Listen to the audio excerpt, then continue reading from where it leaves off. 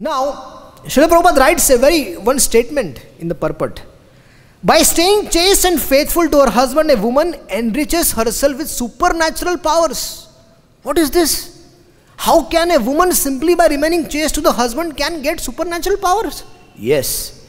Srimati Radharani, she narrates a particular incident in, and that is been mentioned by Krishnadas Kaviraj Goswami about a, a, a pastimes, a, a life of a woman who had supernatural powers simply by remaining chaste to her husband. Hmm? In Antya Lila, chapter 20, verse number 57, there is a, it says, Kushti Viprera Ramani Pativrata Shiromani. There was a Brahmana who had leprosy and his wife was Pativrata Shiromani. Hmm? She was best among the chaste women. but there was a problem. That wife, uh, the husband had a leprosy, but there was a problem. Problem was that this Brahmana was attached to a prostitute in the village. Hmm? Wife is chaste, very faithful. Husband has leprosy, problem, disease all over the body. But husband is attached to a prostitute in the village. And he expresses the problem, oh, my dear wife, I want to have an association with that prostitute. So that wife thinks so. My husband, hmm, my husband wants to. So she thinks, what is what is my dharma? Hmm? So she goes to that prostitute. Hmm. She goes to that prostitute, uh, and she requests that prostitute, please associate with my husband. And she said, Are you okay? Your husband has leprosy. I cannot associate with him. You look for someone else. He said, No, my husband likes you. She refused. But this, this chaste lady accepted a position of a maid servant in her house, and every day she started going to that place. She started serving for one complete month, she served her. And then finally, this prostitute said, Okay, what do you want? You have served me without for for no cause you have served me. I'm not paying you i'm not hired you but still you're serving me. So what do you want from me?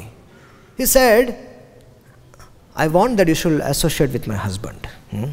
pati lagi kaila veshyar seva. And then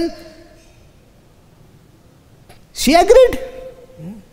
and she carried her husband on the back and she started walking towards the prostitute's house at dead of the night and while while going the husband, his heart changed. Husband, he saw the qualities, the divine qualities she had, she had gained because of her chastity. So the husband saw that. And he said, My dear wife. Husband was on the back of the wife. Hmm?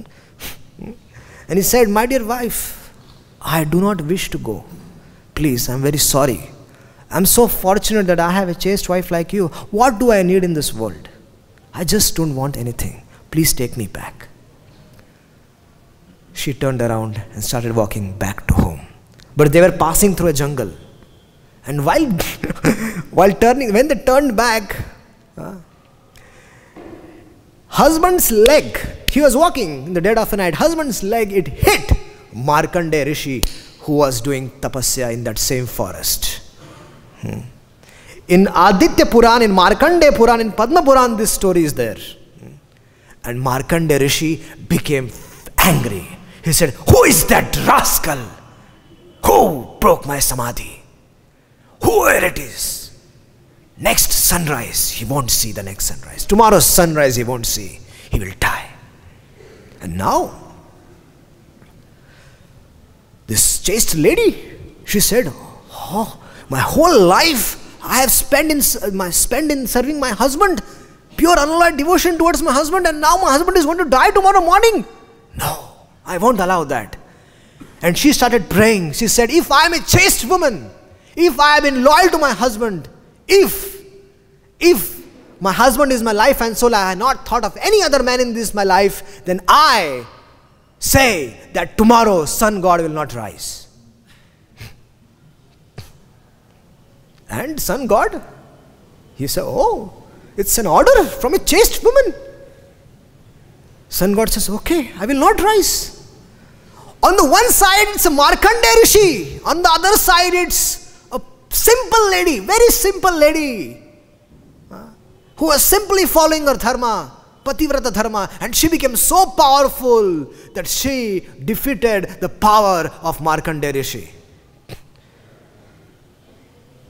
Women are very powerful, Baba. Women are very powerful than men. If they follow their dharma, they are very, very powerful.